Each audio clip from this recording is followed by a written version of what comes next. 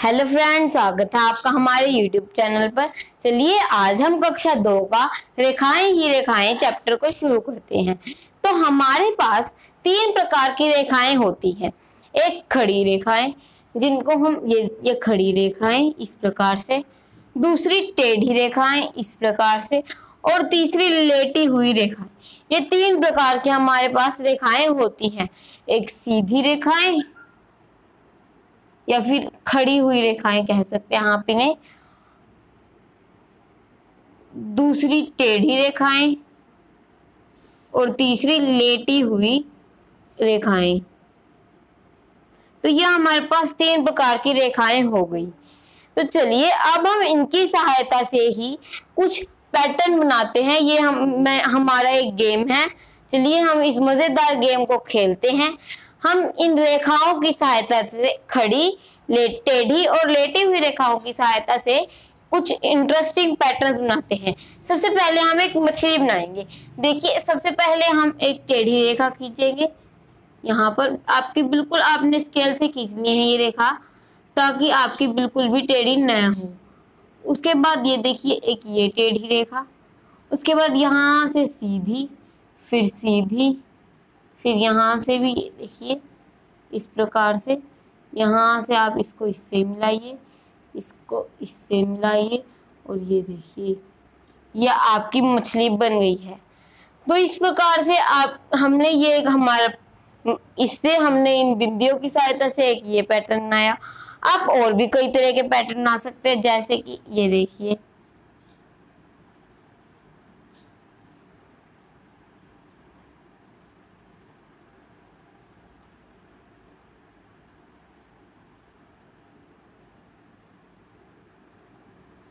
ये देखिए, एक ये पैटर्न हो सकता है आपका। इसमें आप क्या कर सकते हैं? एक में रंग भर दीजिए सुंदर सुंदर। इसमें, मान लीजिए मैं इसमें रंग भर रही हूँ। बिल्कुल सीधी यहाँ से आपने कर लेनी है। ये और एक में रंग ना करें, उसके बाद इसमें कर लें रंग। उसके बाद एक में ना करें, इसमें कर लें।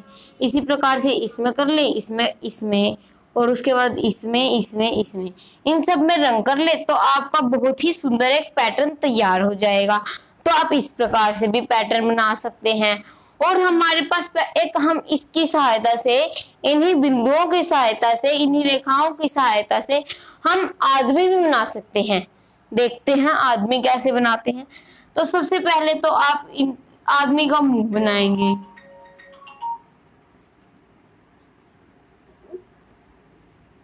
हम यहाँ पर थोड़ी और रेखाएँ बना लेते हैं।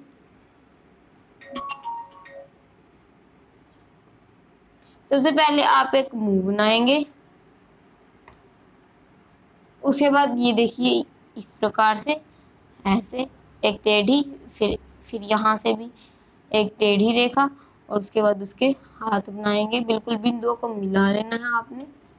ये देखिए, इस प्रकार से आप एक व्यक्ति का चित्र भी बना सकते हैं रेखाओं तो इस प्रकार से ये रेखाएँ हमारे लिए बहुत महत्वपूर्ण आपने इसी प्रकार से खेल खेल में पढ़ाई करनी है।